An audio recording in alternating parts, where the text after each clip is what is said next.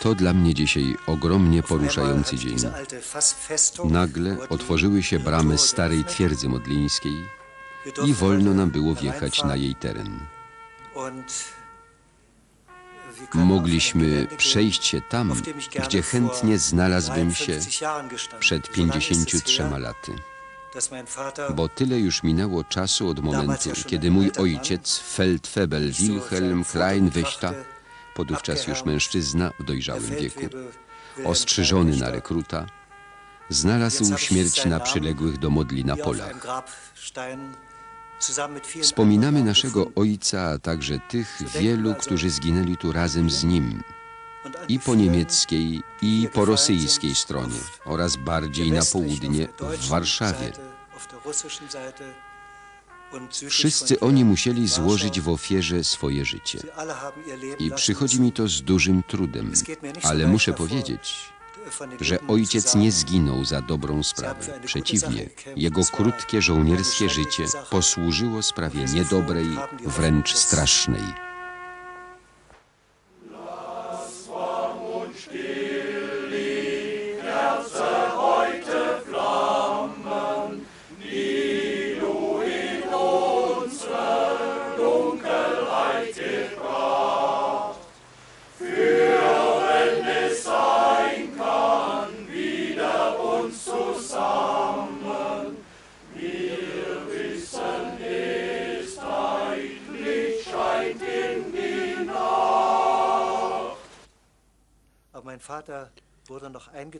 Mój er ojciec znalazł się w armii, choć w świetle ówczesnych przepisów nie był wcale godzien tego zaszczytu.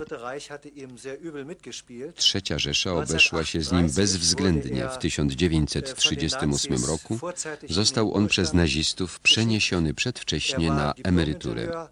Er er Był z zawodu dyplomowanym inżynierem, posiadał status urzędnika państwowego i pracował jako profesor w szkole inżynierskiej. Kam 1998 Wszystko dobrze się układało, ale w 1938 roku pojawiło się zarządzenie, na mocy którego musiał on, podobnie jak jego koledzy, wykazać się aryjskim pochodzeniem. Wprowadzono wtedy takie czarne legitymacje zwane książeczką przodków, Anepas, które zawierały zapis danych z historii rodziny, a więc daty urodzin, śmierci, chrztu, zawarcia związku małżeńskiego.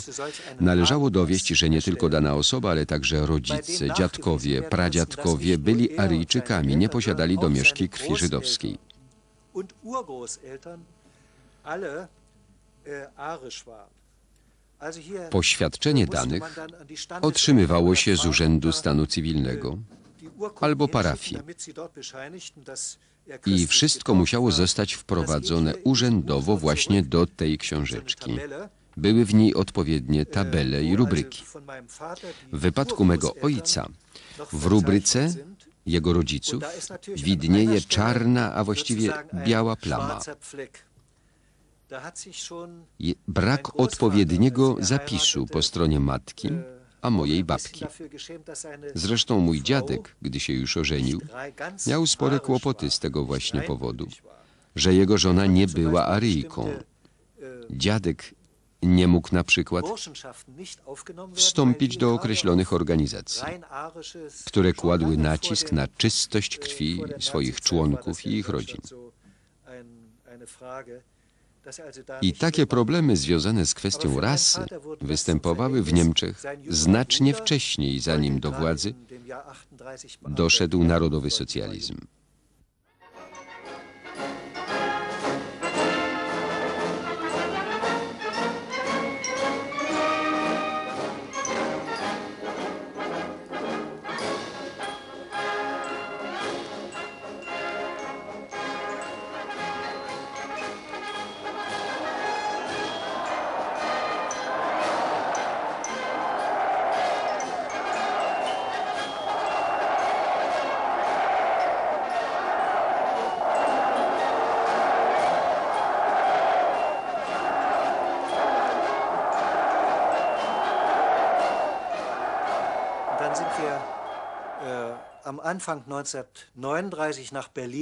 Na początku 1939 roku przenieśliśmy się do Berlina. Jako dorastający chłopak nie byłem w stanie pojąć tego wszystkiego, co rozgrywało się wokół nas. Moja matka dopiero w maju 1945 roku, już po kapitulacji, opowiedziała nam, dzieciom, jaki los spotkał rodzinę w latach III Rzeszy. W Berlinie ojciec starał się bez przerwy o pracę, zmieniając z konieczności jedną firmę po drugiej. Ja chodziłem do stołecznej szkoły, ale po wybuchu wojny została ona w ramach akcji Kinderland Verschickung przeniesiona wraz z całym personelem najpierw na rok do Karyntii w Austrii, a potem na krótko do Berlina i wreszcie nad Bałtyk, na wyspy Uznam i Rugie. Miałem więc w tym czasie niewiele kontaktów z rodzinnym domem i moim ojcem. A więc w 1943 roku znajdowałem się jako uczeń na wyspie Rugia, a mój ojciec musiał znowu przywdziać mundur wojskowy. Mówię znowu, bo ojciec podczas I wojny światowej zgłosił się do wojska na ochotnika. Służył jako saper, gdyż chciał później zostać inżynierem. Z tego powodu, gdy w 1943 roku otrzymał ponownie kartę mobilizacyjną, zweryfikowano mu stopień feldfebla i odbył krótkie przeszkolenie. Znalazł się w batalionie saperów. I ten oddział został wysłany na teren Polski. W 1944 roku sytuacja armii niemieckiej na froncie wschodnim uległa wyraźnemu pogorszeniu. Trzeba było pośpiesznie budować nowe pozycje i ja wiem tylko tyle, że ojca przeniesiono z Przemyśla przez Sandomierz w rejon Warszawy akurat w tym momencie, gdy w stolicy Polski wybuchło powstanie. Ponieważ jednostka ojca składała się z żołnierzy starszych roczników, wycofano ją z pierwszej linii i rozlokowano w okopach na wysokości ujścia Narwi do Bugu, a więc na wschód od Modlina. Und zwar an der Stelle, wo der Bug und Narew zusammengeflossen sind. Östlich von Modlin also.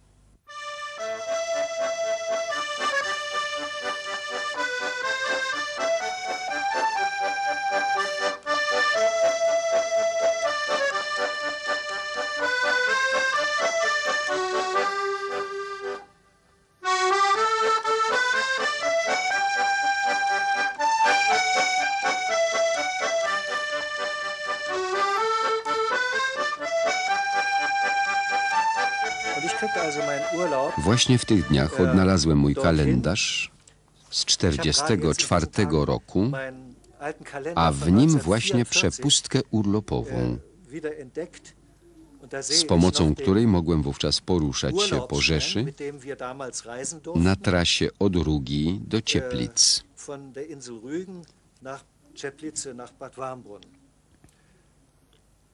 I kiedy przyjechałem, Moja matka oczywiście bardzo się ucieszyła.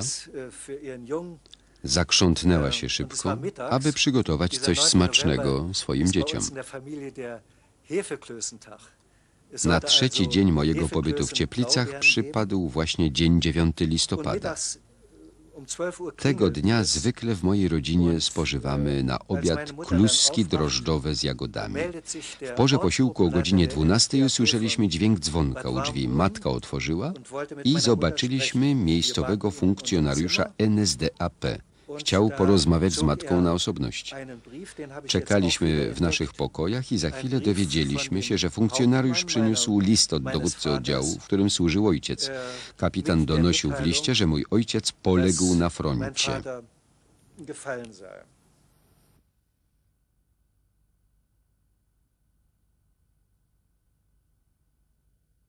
Ja, tak, pamiętam tylko, że matka, moje obie siostry i ja musieliśmy wyjść z domu, aby jakoś oswoić się z tą wiadomością. Zrobiliśmy duży spacer po okolicach Cieplic, popłakując po drodze. I gdy po dwóch godzinach wróciliśmy do domu, moja matka, osoba z natury trzeźwa i pragmatyczna, stwierdziła – No to teraz zjedzmy wreszcie te kluski.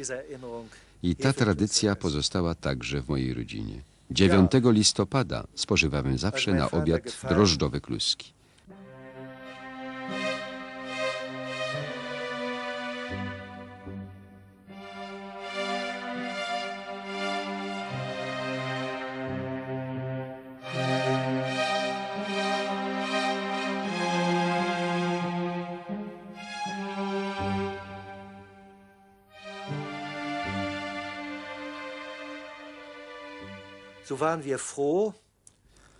Pocieszeniem był dla nas list, który niebawem nadszedł od dowódcy jednostki mojego ojca.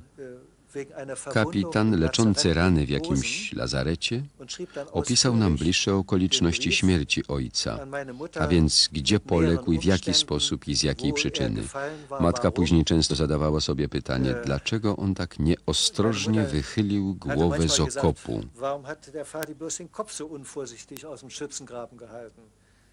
Er hat A zdarzyło się to wczesnym rankiem, wokół było stosunkowo spokojnie. Na drugim brzegu Narwi zalegały już oddziały Armii Czerwonej. Stamtąd właśnie padł nagle pojedynczy strzał strzelca wyborowego. Pocisk przebił hełm, trafił w czoło,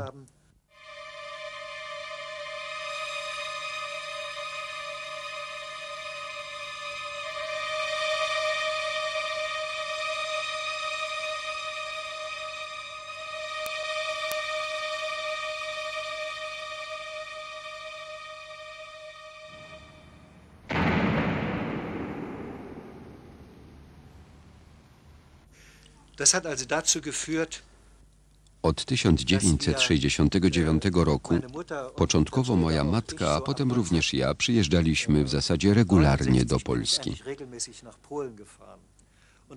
W trakcie jednej właśnie z takich podróży, a był to rok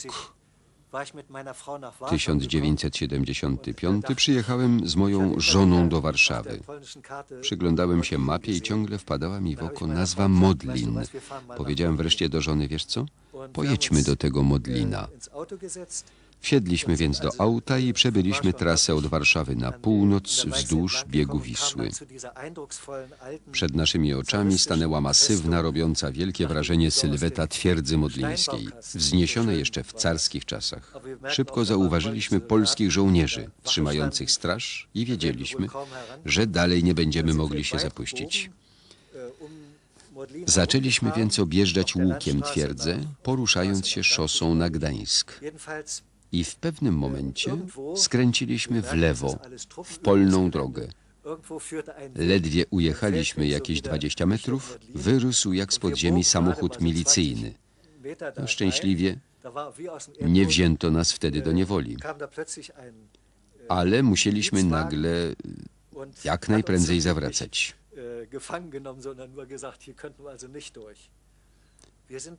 Potem pojechaliśmy, o ile dobrze pamiętam, nieco dalej w kierunku wschodnim.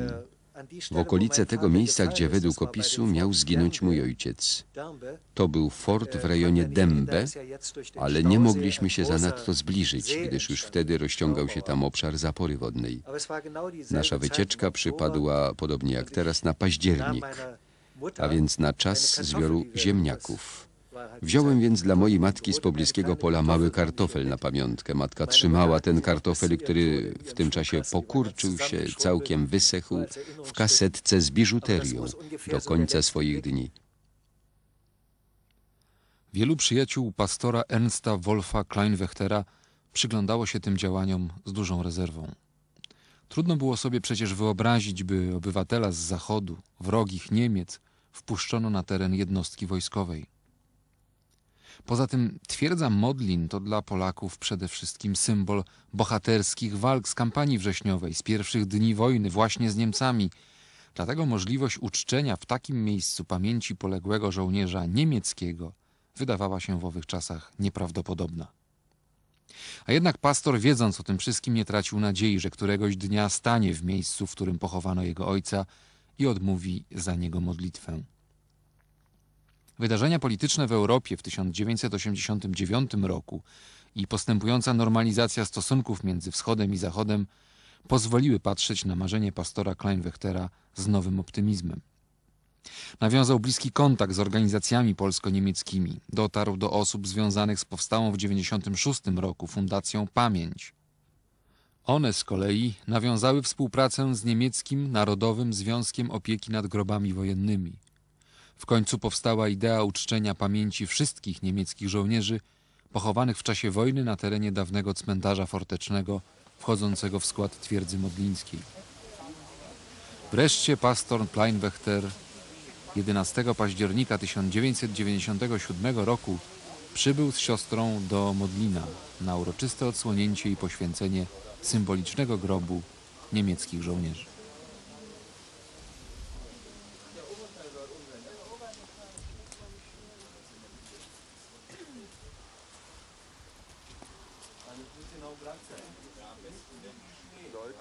Fakt, że doszło do dzisiejszej uroczystości, która przebiega bez napięć, w atmosferze skupienia i powagi po obu stronach, stanowi dla mnie wyrazisty sygnał, jak daleko posunęliśmy się naprzód w dziele wspólnego rozliczania się z historią i budowy współczesnych stosunków. To oczywiście nie oznacza, że wszystko zostało już dokonane. Przeciwnie, mamy jeszcze wiele do zrobienia. W tym kontekście chciałbym przypomnieć, że Niemcy, którzy przybyli na te tereny w 1939 roku, polegli tu jako żołnierze armii napastniczej, zabici przez polskich żołnierzy broniących twierdzy na ojczystej ziemi. Dzisiaj żołnierze obu krajów są już praktycznie biorąc sojusznikami. Uważam to za niezwykle przekonujące potwierdzenie słuszności drogi, na którą wstąpiły oba nasze państwa, dążąc do wzajemnego porozumienia.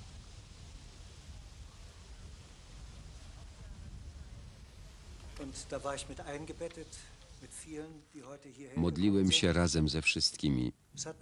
Wzruszała mnie obecność tak dużej gromady ludzi. To przekazanie sobie znaku pokoju i uściśnięcie rąk, niejako symboliczne, z jednej strony otwarcie wrót twierdzy, a z drugiej ludzkich serc. Jestem bardzo wdzięczny so losowi, że zaistniałe ist. zmiany umożliwiły właśnie taką, a nie inną oprawę dzisiejszych uroczystości. To była jedyna w swoim rodzaju chwila, gdy na kamieniu nagrobnym odnalazłem swoje nazwisko. Zresztą jedno z moich imion brzmi właśnie Wilhelm. Nazwisko ojca widnieje również wyryte na grobie mej matki w Hanowerze.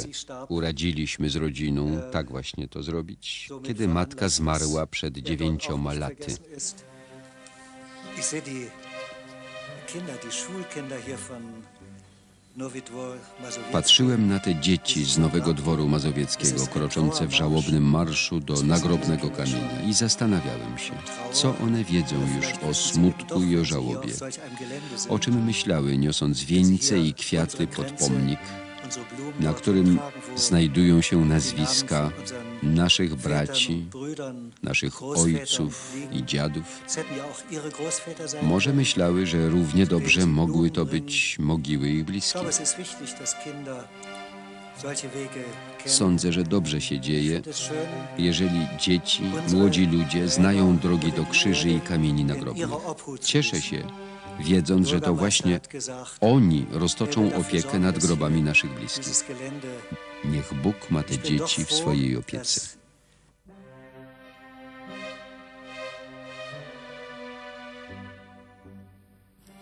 Jestem także szczęśliwy, że dzięki tej podróży do Modlina zakończył się niejako okres żałoby po śmierci mego ojca.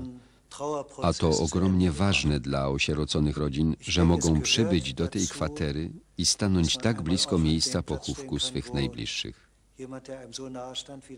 Czas rozłąki, mówiąc przenośnie, dobiegł końca.